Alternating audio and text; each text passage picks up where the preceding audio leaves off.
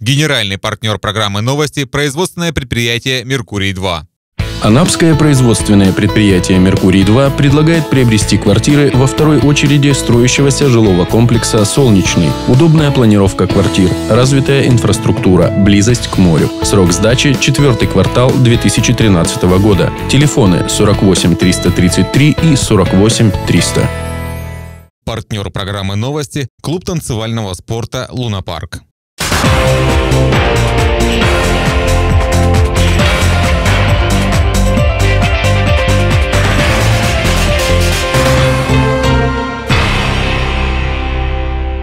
Эфир канала РЕН-ТВ продолжает новости «Она по региону». В студии Ирина Меркурьева. Здравствуйте. Смотрите сегодня в выпуске. Новая жизнь именитого предприятия. В селе Юровка запустили новую линию производства вина. Как отличить правильное такси от нелегального? Об этих и других событиях расскажем прямо сейчас. Кубань, край винограда и виноделия. В Юровке возродили старый винзавод, реконструировали и поставили новое оборудование, что позволило делать не только первичную обработку винограда, но и выпускать высококачественное натуральное вино. На дегустации первой продукции была наша съемочная группа. А, сегодня запустился винзавод а, Юровский. Мощность этого завода 300 тысяч декалитров. С его помощью мы планируем увеличить объемы а, розливого вина с 1 миллиона декалитров до 1 миллиона 150 тысяч декалитров уже в этом году. Новое, хорошо забытое старое. Это правило коснулось Юровского винзавода. Заброшенное производство удалось возродить Светлане Куликовой. Она приехала в Юровку из Новосибирска несколько лет назад. Ее поразила плодородная кубанская земля, обилие фруктов. Винзавод в Юровке никогда не выпускал вина. Во все времена там производилась только первичная обработка винограда. И вот сегодня первые литры в упаковке тетрапак сходят с линии розлива. Мы выращиваем виноград вот открыли розлив и на будущий год планируем а, реанимировать, так сказать, старое производство. Это старый завод по переработке, получить вторую лицензию, то есть сделать цикл уже завершенным. То есть виноград вырастили, виноград переработали, развили свое и продали. То есть хотим работать только на собственном сырье, то есть это в планах. Вот. Ну, пока, конечно, собственного сырья с 200 гектаров нам будет недостаточно, поэтому мы будем подкупать. Будем стараться тоже подкупать у нашего, у отечественного производителя. Вот сейчас мы купили тоже на, на Анапском винзаводе виноматериал. Вот, и будем разливать свое вино, свое хорошее, качественное вино. Это большое событие для Юровки и, пожалуй, города-курорта в целом, так как на заводе в ближайшем будущем в общей сложности будет создано более 60 рабочих мест. Для сотрудников созданы достойные условия труда и хорошая заработная плата в среднем 20 тысяч. Директор рассказывает, что набирала первых специалистов, что называется по крупинкам. В ответственный отдел анализа вина пригласили лаборанта химических анализов с 29-летним стажем Ларису Костерину. Она работала на известном СПК имени Ленина в поселке Виноградном. Заведующая лабораторией Ольга Орлова, тоже ее коллега по бывшему СПК. Анна Охлач специально приехала из станицы Варениковской. Ее послужной список весомый и производство она знает от и до. Анна провела первую дегустацию для гостей. Сейчас разливается классическая линия – Мерло, Каберне Савиньон, Изабелла. Сухие, полусухие, полусладкие вина. Дирекция завода планирует запустить три линии розлива вина. Бутилированного можно будет разливать до 800 бутылок в час. Своего сырья для производства таких объемов вина пока недостаточно, но в планах перейти на свой собственный полный цикл производства. 200 гектаров это у нас виноградники, а в собственности у нас 600 гектаров. То есть мы планируем каждый год понемножку, чтобы было а, подъемно и подрядчику нашему подсаживать по 30 гектаров своих виноградников. То есть и потенциал в принципе у нас есть. Чтобы дать путевку в жизнь хорошему товару, по сложившейся традиции гости подержали в руках первый тетрапак и вместе с руководителем предприятия наклеили акцизную марку. Лариса Басова, Артем Зиборов, Анапа регион. К другим темам. Как отличить легальные автомобили такси от серых по внешнему виду? И какие требования должны выполнять водители такси? Алина Гумерова узнала тонкости организации автоперевозок в Анапе и вместе с сотрудниками роты ДПС понаблюдала за подвижной статистикой. Подробности в сюжете. В Анапе зарегистрированы 260 индивидуальных предпринимателей. Это водители, кому разрешена деятельность таксистов. На деле машин с шашками ездит по городу намного больше. Это нелегалы. Отличить легальных перевозчиков от нелегальных достаточно сложно. Любое легковое такси в общем транспортном потоке должно иметь отличительные знаки. На боковых поверхностях кузова символику таксомоторных перевозок, композицию из контрастных квадратов в шахматном порядке. На крыше автомобиля фонарь оранжевого цвета, соответствующий ГОСТу, либо выполнены по техническим условиям. Как правило, у нелегальных таксистов фонарь, цветографическая схема отсутствует, фонарь белого, ну какого угодно, цвета может быть. И вообще э, так-то в потоке тяжело отличить легального перевозчика от нелегального это уже в процессе проверки документов выявляет. У легального перевозчика на руках должно быть разрешение на осуществление данного вида деятельности, или он должен быть зарегистрирован в налоговой инспекции как индивидуальный предприниматель. Жителям и гостям курорта, пользующимися услугами легкового такси, нужно выбирать легальные, отвечающие требованиям по безопасности пассажирских перевозок и выдерживающие тарифную политику. В противном случае пассажир рискует стать жертвой нажива нелегалов, не желающих нести ответственность за качество предоставляемых транспортных услуг. Водителям, желающим осуществлять перевозки перевозки пассажиров необходимо оформить документы в установленном порядке и работать легально, без протоколов об административном правонарушении, ожидания очередной проверки и без штрафов. Алина Гумерова, Артем Зиборов, Анапа, регион. Август – время чествования строителей. Профессиональный праздник специалисты отмечают во второе воскресенье августа. Накануне строителей поздравили в мэрии. Работу лучших мастеров своего дела отметили грамотами и благодарностями главы. Мэр Анапы Сергей Сергеев поблагодарил строителей за работу. Результаты их труда на виду. Оплошности и недостатки недопустимы. Это безопасность зданий. Работа строителей должна быть безупречной по всем показателям. Для меня есть несколько праздников, значимых в жизни. Ну и вот второе воскресенье августа с детства я помню, э, потому что отец у меня всю свою сознательную жизнь э, был созидателем, конкретно прорабом межколхозной строительной организации. Таких сейчас нет, к сожалению, их похоронили. Я свою трудовую деятельность тоже начинал мастером участка межколхозной строительной организации. Вот. Поэтому День строителя для меня праздник не чуждый. Мне не надо памяток, чтобы поздравлять людей и говорить. Я хочу сказать не дежурные слова, а действительно то, что я увидел в Анапе, а, то, что сделано строителем. Социальные объекты, жилые торговые помещения, развлекательные учреждения. Все здания – дело рук строителей. Восстановление престижа профессий и возрождение специальных учебных заведений. Так можно решить сразу несколько проблем. Мы будем восстанавливать средние специальные учебные заведения.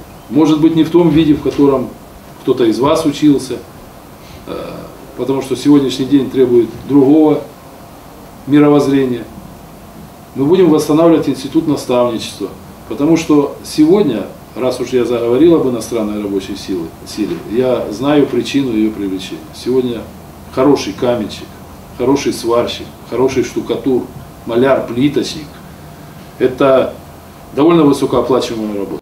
Благодарности мэра Анапы за работу получили 15 анапчан-строителей, инженеры, сантехники, операторы, маляр, подрядчики. 9 строителей разного уровня подготовки и узкой специализации отметили почетными грамотами мэра Анапы. Индивидуальный предприниматель Александр Шлахтер выразил мнение и поделился настроением всех награжденных. Поблагодарил Сергея Сергеева за внимание к специалистам созидающей профессии. Очень бы хотелось, чтобы в городе была разработана ну какая-то программа по э, содействию честной конкуренции, для того, чтобы мы могли совершенно спокойно, если кто-то предложит лучшие для города условия, нет проблем, работают.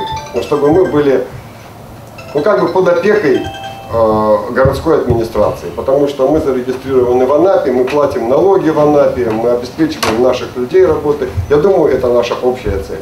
А вообще-то большое спасибо за то, что стройка живет. Анапа – хедлайнер списков самых строящихся городов России. И труд строителей в городе-курорте оценивают не только анапчане. Гости со всей страны, глядя на городскую архитектуру Анапы, судят о вкусе, профессионализме и качестве жизни анапчан. Наталья Пухальская, Алексей Мухортов, Анапа регион. 8 августа, в День памяти Героя России Вячеслава Евскина, у мемориального памятника прошла акция. 17 лет прошло со дня гибели майора ФСБ Вячеслава Евскина. Почтить память героя собрались анапчане, родственники и официальные лица. Подробности акции с бульвара Евскина в следующем сюжете. О таких людях снимают кино и пишут книги. В этом году Вячеславу Евскину исполнилось бы 53 года. 17 лет его нет. И 17 лет анапчане вспоминают его подвиг. На торжественной церемонии сослуживцы и родственники вспомнили, каким он был, герой России. Настолько большое дело сделал. Он не посмотрел на то, что у него тоже сын. И он спас жизнь своим ребятам ради того, чтобы большое поколение детей молодых, э, которые женились, создали свои семьи. Он не пожалел себя. И он вообще с детства всегда жил как бы для кого-то. Он всегда в первую очередь, если его мама угощала, а он видел, что это только ему дали. Он в первую очередь бежал к старшему и ко мне, э, вот на угостись, а потом уже и в детстве всегда, в школе, всегда он заступался за девчат. Молодая смена курсанты Института береговой охраны на примере земляка знают, какой ценой становятся героями и чего стоит военный подвиг. И то, что каждый год жители и прежде всего молодежь нашего города собираются у этого памятника, очень символично. Потому что друзья, те, кто был с ним рядом, те, кто провожал его туда, те, кто ждал, семья, ветераны, они никогда не забудут подвиг своего товарища. Но мы должны каждый год передавать эту память молодежи и вот этим совсем еще юным ребятам. Но они должны помнить, знать, они будут взрослеть, и они будут понимать, какое это, каким был этот человек, для чего он жил и во имя чего он погиб. Майор Евскин проявил мужество и героизм в бою в Грозном 8 августа 1996 года при попытке прорыва из окруженного здания был тяжело ранен. До последнего отстреливался от боевиков, а затем взорвал окруживших и погиб сам. Вячеслав Евскин спас 90 сотрудников службы безопасности. В 1996 году ему присвоили звание Героя Российской Федерации. Посмертно. Обладание ими было настолько важным, что сначала боевики предлагали сотрудникам сдаться, потом просто уйти к своим с оружием, Потом даже предлагали сделать это за деньги. Ответом был категорический отказ.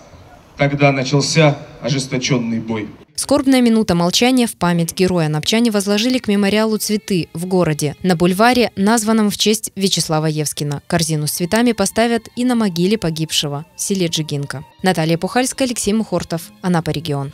На сегодня это все новости. В завершении выпуска прогноз погоды на завтра. Прогноз выходит при поддержке наших партнеров. Салона магазина изделий из камней самоцветов «Тайны Медной горы» и торгового центра «Алиса». Всегда удачный шопинг в центре города. У каждого из нас свои желания. Кто-то любит шопинг, кто-то не любит шопинг. Кто-то любит играть.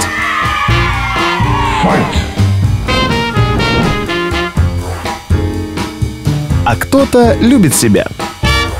Торговый центр «Алиса» исполняет ваши желания –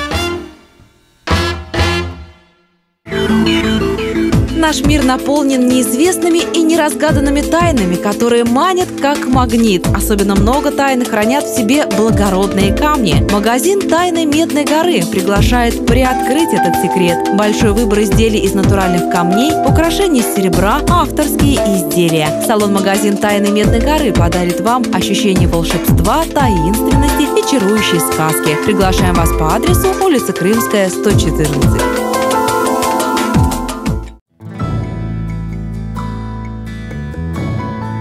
Пятницу 9 августа в Анапе малооблачно, без осадков. Температура воздуха днем плюс 25-27, ночью 23 градуса тепла. Ветер северо-западный 4 метра в секунду. Атмосферное давление 758 миллиметров ртутного столба. Температура морской воды в Анапской бухте плюс 24. Далее блок полезной информации от партнеров программы производственного предприятия «Меркурий-2» и клуба танцевального спорта «Луна-парк». Эти и другие новости вы можете найти на нашем сайте. Я с вами прощаюсь. Всего доброго и до свидания.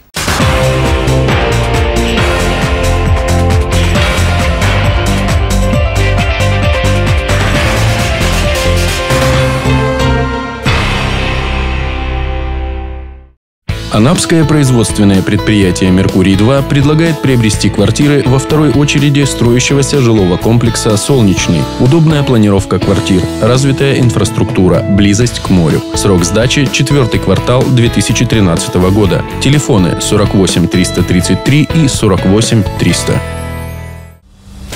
Они стали легендой. Девятикратные чемпионы мира – Клуб танцевального спорта «Лунапарк».